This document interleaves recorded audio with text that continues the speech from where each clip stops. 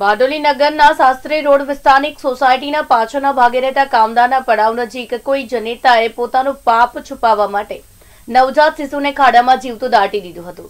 જોકે નવજાત બાળકના રડવાનો અવાજ આવતા સ્થાનિક રહીશોએ ખાડામાંથી બાળકને કાઢીને સારવાર માટે હોસ્પિટલમાં ખસેડ્યું હતું.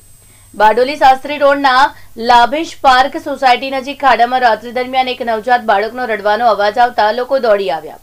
અને બાળકને ખાડામાંથી બહાર કાઢી ઇમરજન્સી સેવા એકસો આઠથી સારવાર માટે સુરતના સિવિલ હોસ્પિટલ મોકલી અપાયો હતો.